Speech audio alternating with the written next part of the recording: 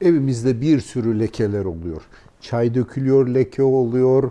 Kahve dökülüyor, leke oluyor. Yemek dökülüyor, leke oluyor. Durun durun. Bugünkü leke konumuz bu değil. Bugünkü konumuz ciltteki lekeler.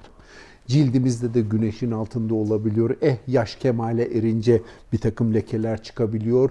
Ya da farklı nedenlerden, alerjik nedenler de olabilir. Lekelenmeler olabiliyor. Şimdi size bir üründen bahsedeceğim. Ne biliyor musunuz? Leke giderici bakım yağı. Aslında bakım yağı demeyeyim de bakım yağları diyeyim. Çünkü bunun içerisinde ciltteki lekeleri giderecek, cildi besleyecek, pırıl pırıl yapacak bir yağ karışımı var. Ve gerçekten çok iyi geliyor. Tavsiye ediyorum.